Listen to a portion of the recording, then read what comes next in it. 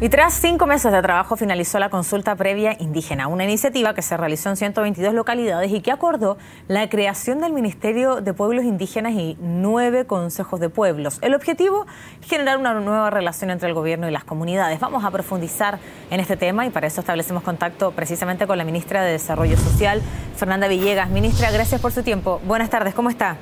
Buenas tardes, Macarena. Muy bien. ¿Qué significa en términos prácticos la creación de este, de este ministerio? Y precisamente eh, va a poner, me imagino, en la primera línea las problemáticas de los pueblos originarios. Bueno, significa cumplir una de las tareas y de las metas planteadas por la presidenta Bachelet y recordada el 21 de mayo pasado cuando se señaló la necesidad de hacer las cosas que estaban planteadas en el programa y hacerlas bien. Y esto incluía la consulta a los pueblos indígenas, cumpliendo también eh, nuestros compromisos internacionales en materia de lo que es el convenio 169. Y para los pueblos indígenas significa el ejercicio de un derecho a ser consultado en aquellas cosas que les afectan directamente y lo que tendrá como resultado una iniciativa legislativa que esperamos llevar al Parlamento este primer semestre y que fortalecerá la institucionalidad indígena. Es decir, tendremos herramientas e instrumentos desde el Estado para hacer un cumplimiento de las tareas que tenemos en la agenda indígena superiores a lo que hoy día el Estado de Chile tiene. Eso es básicamente, ¿qué va a pasar con la CONADI en esta nueva estructura y con el proyecto que ustedes envíen? Bueno, eh, todo ministerio tiene que tener un organismo ejecutor. Aquí lo que va a haber es un tránsito, ¿verdad? Una transformación de la institucionalidad indígena y el organismo ejecutor tiene que eh, ser el que tome la posta eh, más allá del nombre o más allá de esos aspectos formales.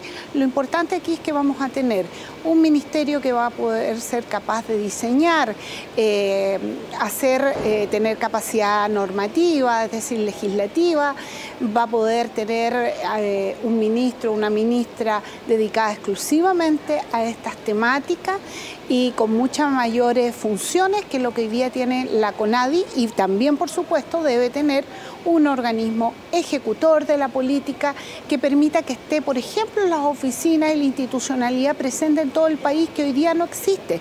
Hoy día tenemos en algunas regiones y en el restante tenemos las denominadas PIDI, que son unas unidades muy pequeñas, sin capacidad de acción y que impiden muchas veces trámites tan simples como acceder al reconocimiento o obtener eh, documentación necesaria para las personas eh, que conforman los nueve pueblos indígenas en Chile.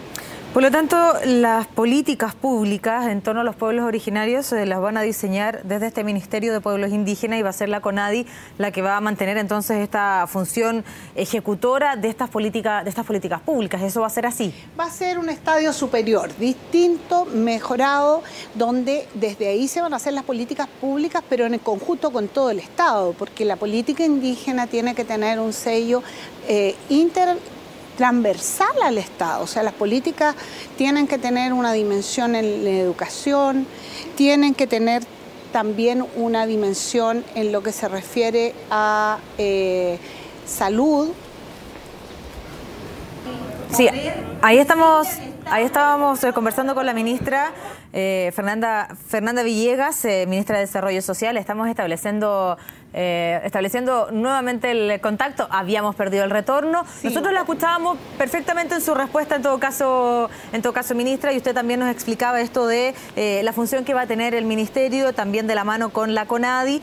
Y yo quisiera preguntarle por el proceso de consulta indígena. Yo lo decía, son 120 y tantos eh, pueblos los que participaron. ¿Cómo fue el proceso de, de participación de los pueblos originarios y, bueno, cuánto consenso hubo en torno a la creación de este nuevo ministerio?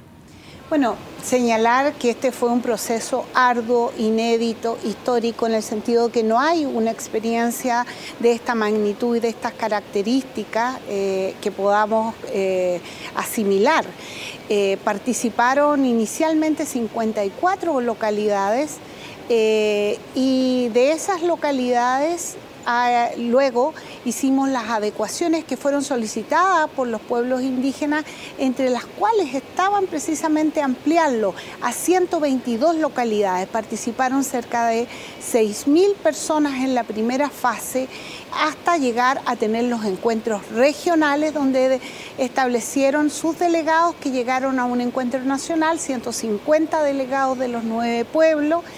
No fue un proceso fácil, hubo dificultades que emanan de justamente las desconfianzas, pero el ánimo, la voluntad de avanzar en la institucionalidad, la necesidad de hacerlo y también recordar que esta es una demanda planteada por los propios pueblos y las comunidades ya por allá de 1992. Así que la verdad es que fue un gran esfuerzo por parte de los pueblos de dar este paso, de querer dialogar con el Estado y por parte nuestra de cumplir un compromiso y también de hacer este camino de restitución de confianza tan necesario. Ministra, cuando se logra la institucionalidad respecto a los pueblos originarios, de alguna manera también se legitima la visión de que somos un país donde cohabitan distintas culturas y por lo tanto respetar, por supuesto, y diseñar políticas especiales para las distintas culturas. Eso es así. Hay a través de la institucionalidad una conciencia también que somos un país eh, donde cohabitan eh, enriquecidamente distintas culturas.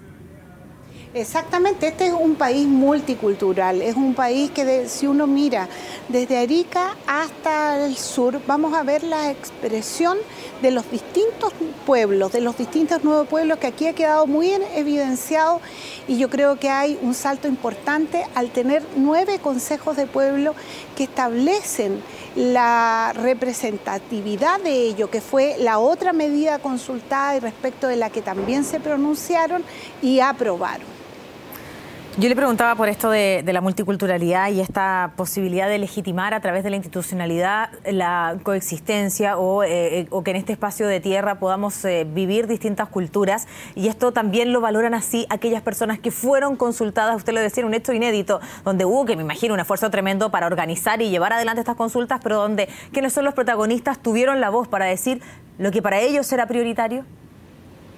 Por supuesto que sí, esencialmente esta medida se consultó, las dos medidas planteadas, ellos pudieron tener su proceso deliberativo a nivel de los territorios, a nivel regionales. Aquí hubo una dinámica muy amplia de participación y digo que es histórica no solo por el tema indígena, no existe otra institucionalidad que haya surgido al alero de un proceso de estas dimensiones y de, con este nivel de participación. Como todo proceso democrático, hubo actores que en su oportunidad no estuvieron en acuerdo, tienen disenso. Forma parte de este aprendizaje, de esta construcción colectiva. Y lo importante sí es la transparencia del mismo, el poder actuar con los estándares que nos exige el, el 169, el convenio internacional, de poder hacerlo transparente, de manera previa, con la voluntad de llegar a acuerdo por parte del Estado, todo eso ha estado presente. Y como le señalo también, los disensos serán parte del expediente que debe ser público. Esto ha sido un proceso en el cual han habido veedores de derechos humanos, hay un expediente, está grabado todo y documentado adecuadamente en cada uno de sus procesos. Así que yo creo que ha sido un aprendizaje para la democracia, para el fortalecimiento de la democracia y de este país. Ministra, esto tiene que materializarse ya al término de esta entrevista en, eh, lo decía usted también en una de sus respuestas, bueno, en un proyecto que tiene que pasar por el Congreso y tiene que pasar con sus aprobaciones y lo demás. ¿Para cuándo ya sería una realidad entonces aquello que plantearon en esta consulta eh, los mismos eh, protagonistas? ¿Cuándo ya llegan los proyectos al Parlamento y se puedan transformar en ley? Nuestra meta, por cierto, es este primer semestre, pero desde el Ministerio estamos esforzándonos porque podamos ingresar, ojalá, hacia fines de marzo con la iniciativa legislativa. Y yo estoy segura que vamos a contar con un amplio respaldo y apoyo porque, como digo, esto es fruto de un trabajo participativo, colaborativo, amplio, de diálogo, de respeto y espero que en el Parlamento eso se refleje en un apoyo eh, mayoritario, transversal y expedito de las iniciativas legislativas que se presenten. Ministra, gracias por compartir esta conversación con CNN Chile. Que tenga una buena tarde. Muchas gracias, Macarena.